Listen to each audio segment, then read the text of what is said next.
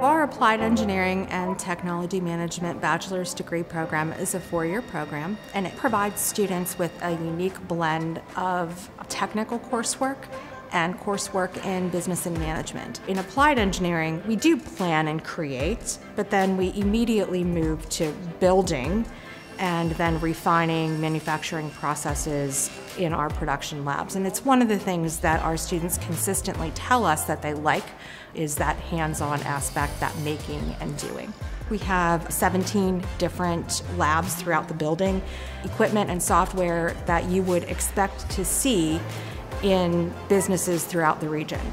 Our students are highly valued because they perform well in technical knowledge and teamwork. 90% of our graduates are working in their field.